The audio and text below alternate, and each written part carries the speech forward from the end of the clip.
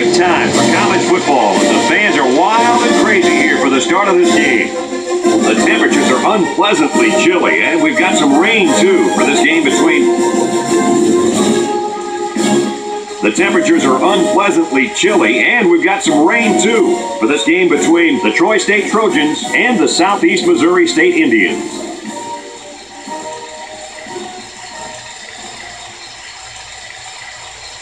And here come the Indians.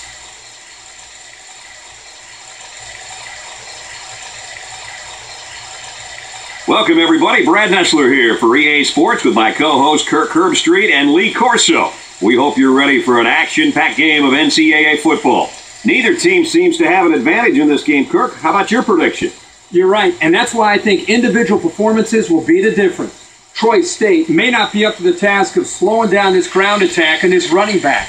I look for him to have a big game on the ground. In fact, Lee, I think his ability to run the football today will lead them to victory.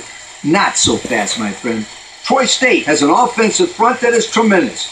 Now, I'm telling you, if I'm the coach, I start the game off running the football right at this defense, and I wear them down physically and mentally.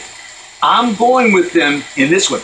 Thanks, guys. Looks like we're going to have an action packed game. So let's get down to the field where they're waiting for the coin toss.